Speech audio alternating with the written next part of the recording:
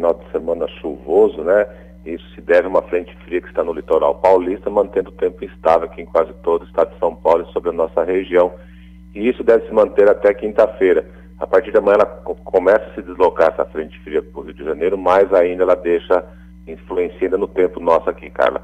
Pra uma ideia, a chuva das 9 horas da noite de ontem até as 7 da manhã de hoje foi de 87,1. Desculpa, Burigo, eu não consegui te ouvir. Qual a medição da chuva? Perdão, 87,1. Esse é um volume muito alto de chuva, né? Muito alto. Nos primeiros sete dias aqui, né, de fevereiro, já estamos com 145 milímetros acumulados. O esperado para o mês é 217. Então, se continuar chovendo assim, nós vamos ter um bom volume de chuva para os meses de fevereiro, Carla. Com certeza fechamos janeiro, né? Com bom volume de chuvas também. Isso vai trazer um alívio. Por outro lado, a gente sabe que tem os transtornos aí do excesso de chuva, os moradores da zona rural com dificuldades de acesso, também na zona urbana alguns problemas sendo registrados.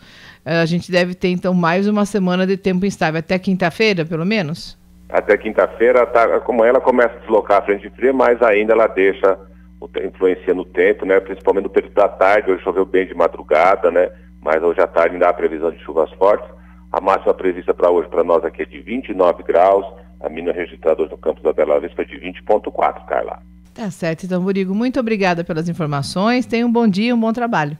Para vocês também, um bom dia, bom trabalho, boa semana a todos.